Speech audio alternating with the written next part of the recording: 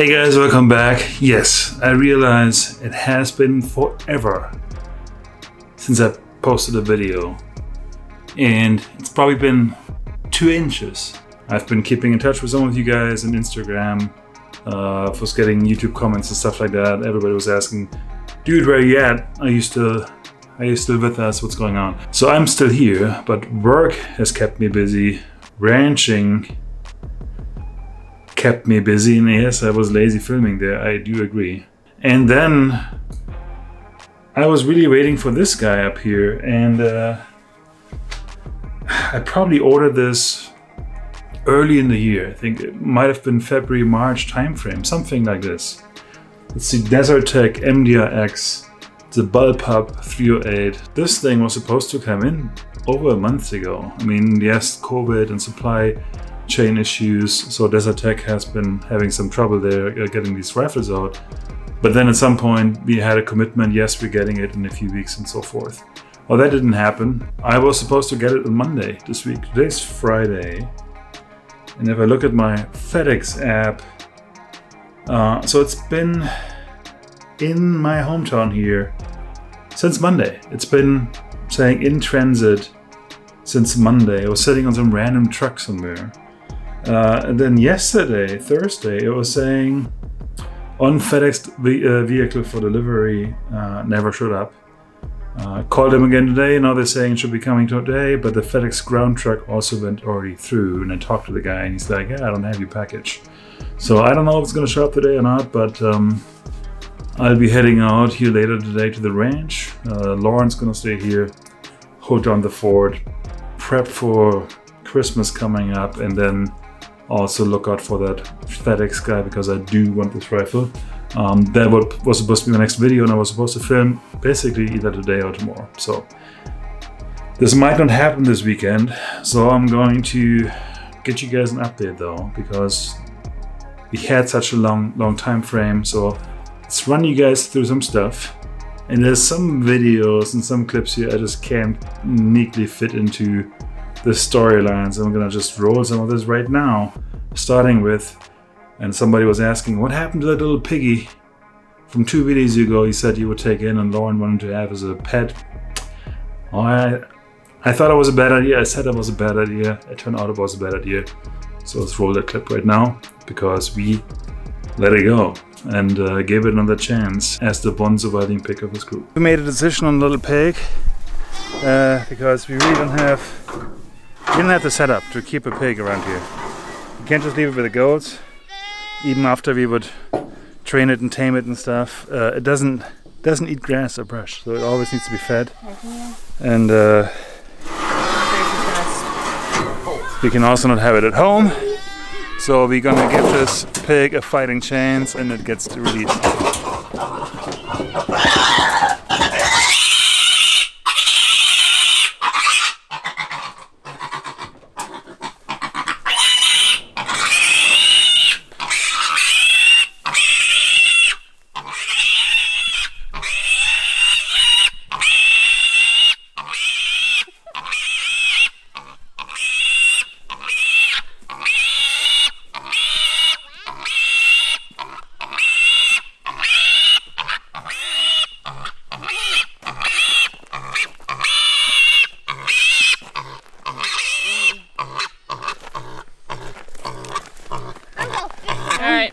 Ready? bye bye, Miss Piggy. Whoa. That was cool. There you go. She's just running down the road. like a little bunny rabbit. Yeah, like a big little bunny rabbit. you bit me. I'm glad I had the jacket on.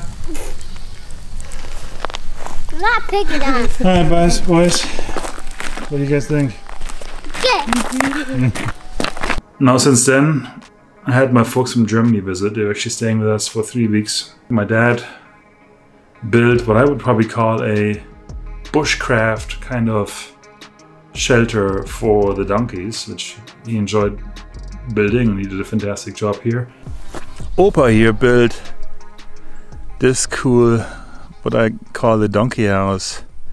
But it's really more than that. I would call it even the guest house.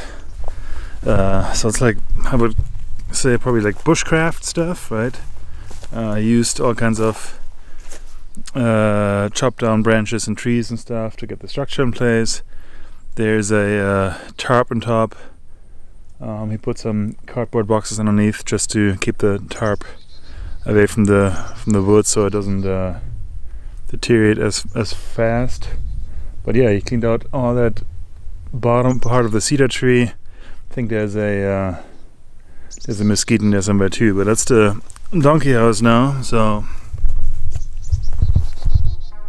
pretty neat. We planted uh, about 16 trees or so. I think six live oaks, two red oaks, Texas red oaks.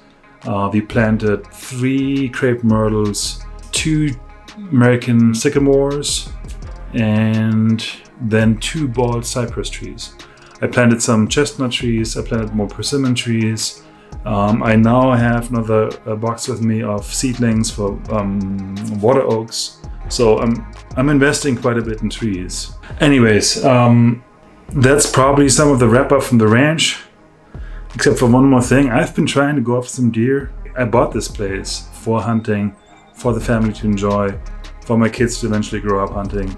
We put up a tree stand uh, in the wooded area of my place. Eric and I sat in a tree stand uh, one evening waiting for some deer to come in with a bow actually. So he had a bow. He's doing a fantastic job shooting that bow. Uh, so now we are in the, in the tree stand. I have my old Parker Wildfire Extreme. I think it's at least 10 years old, that bow. In the tree stand.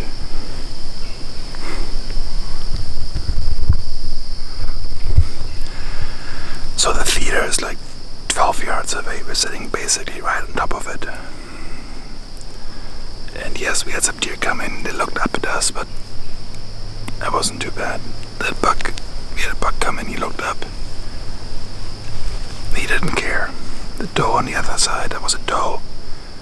A few weeks back, she came in. She looked up and she knew there's something going on. Yeah, we don't have any cover around us, or anything. It's pretty open. But yeah, the, the few bucks which came in, they they didn't really figure out what's going on here. And then the pigs came out in from uh, from over there, the tree line. I have another feeder, like this direction back here. It's a little bit to the left of me. That feeder is only like 100 yards or something. And, uh, but that feeder has a fence around it so the, the, the pigs can't get in, but the deer can in, get in. So the pigs usually come in over there, stop there for a little bit, see if there's any corn outside of the fence, and then they, come in here. Sitting in the tree stand, the deer feeder is about 12 yards in front of us. I think we're in a 12 foot, 14 foot kind of tree stand, and uh, it's getting dark. Deer didn't show up. All of a sudden, the pigs come in though. The moonlight is bright enough so we can actually see them coming in. I give Eric my little headlamp, set it to green, and I told him before, hey, if they come in, turn the headlamp on, start dropping it down from the top. So you don't turn the light on like suddenly on them and they get spooked, but drop it down. Yeah, that was the plan. I'm gonna shoot the biggest pig I see. So I'm pulling back. Eric turns on the light, has the headlamp right here, shines me directly in the face, so I'm blinded at this point. And then he drops it down, my vision comes back, my pins are lit up by the light I have on there, but my uh, peep sight, it's blue and doesn't really have anything to make it more visible, so it's hard to see, but I let that, that arrow fly and I hit something. I don't know if it was the ground, if it was a pig, there was no squealing or nothing. All the pigs all of a sudden run. And I'm like, what the heck just happened? Like, they, you would expect you shoot a pig with a bow, there should be squealing. And I haven't shot a big pig with a bow to be, before, to be honest. Small pigs, and there was lots of squealing. So we go down after a few minutes, look around, and I find this broken arrow on the ground. So the front third is broken off. On the blood ring, the white ring around the, the arrow, you can see bright and bubbly blood. So I knew there was a long shot somewhere. Long story short, we look around, find a big boar a two inch cut on the high, high on his shoulder. And uh, the arrow is somewhere in there because it didn't go through. So next day I come out, go after this, look at this pick again. Basically, I left it like where we shot it, where I pulled it out, and um, to look for my broadhead. I wanted to see like where did it go, like, and I wanted the broadhead back. So I opened it up. That broadhead, that it was a Rage chisel, two inch, two blade, went straight into the heart and parked itself in the heart. It wasn't a shot through the heart.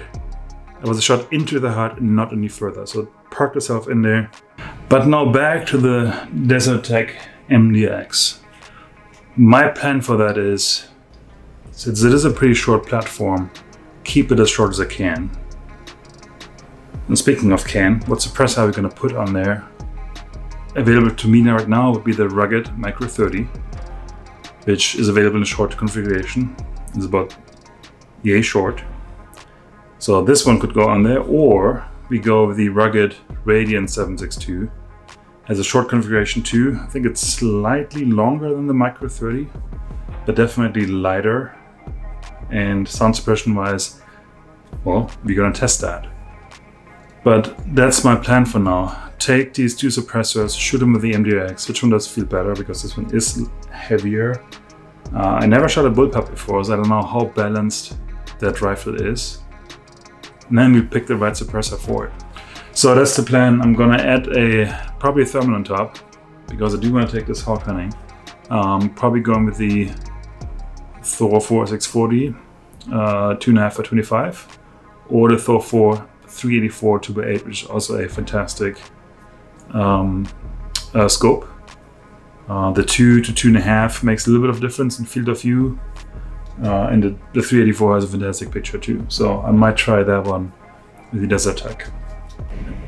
And to wrap up this random video covering random topics uh, related to the MDX though, I want to build a place out there, a shooting range, where I can do things like that in a better and mostly safer way. So right now I don't have a good setup for a shooting range.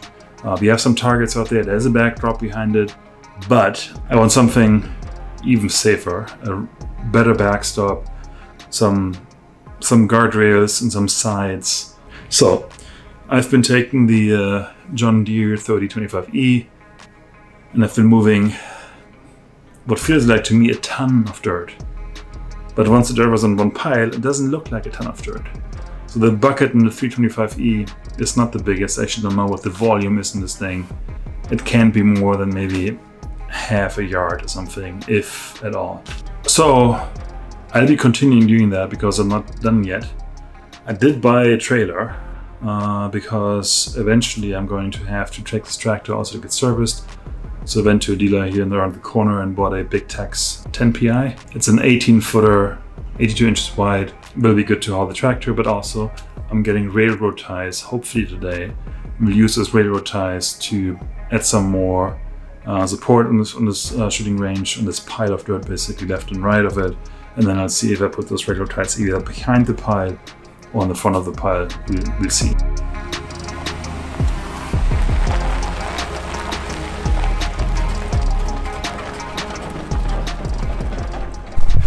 It is getting dark, but I just put it in the ranch and uh, we have uh, railroad ties 16, 18. 18. The new trailer working out pretty good. Of course, maybe like 20 minutes after I left at home with the boys, the driver showed up. Desert Tech MDX has officially landed, guys. It's just not here right now. So, but tomorrow I will have it here, and then hopefully we take the first few shots. The range I'm setting up is like way back in there in the corner, tucked into those trees. That's where we're gonna put those railroad ties tomorrow, and uh, shoot a few rounds. I did bring that thermal, so I could get that mounted tomorrow already. I also have another Holosun 510C, which I could put on top. So we'll figure something out. Did I mention? Oh no. Earlier when I talked to you guys about all those random topics, I think I forgot to mention we have two baby goats. Unexpected. Apparently one of the goats we bought earlier this year was already pregnant. And now we have two baby goats. How cool is that? Where are the babies? Right there. Show me your babies, Annie. Show me your babies. Right there. Look at the baby. There it is. Yeah, so those are the baby goats. Hopefully tomorrow that big buck is gonna walk in. That's our cute farmhouse right here, but hopefully the buck is gonna walk in to this uh, food plot. It's a mix of deer mix food plot and then oats. It's- the oats didn't take as good, just f- mostly on this side where I started spreading them. There's some other stuff in here.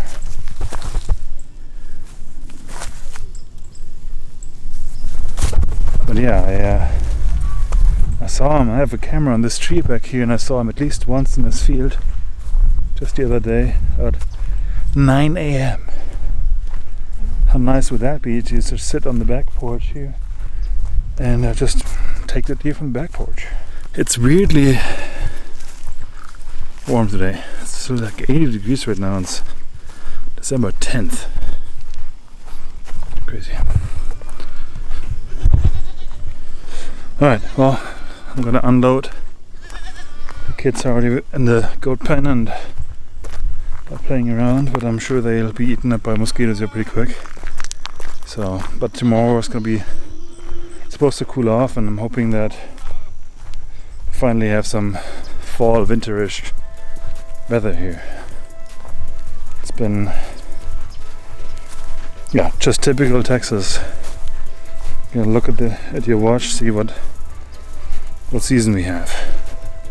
All right, see you guys tomorrow morning probably. Get some shooting range stuff happening, and maybe we'll shoot a buck tomorrow. Crossing fingers. gracias.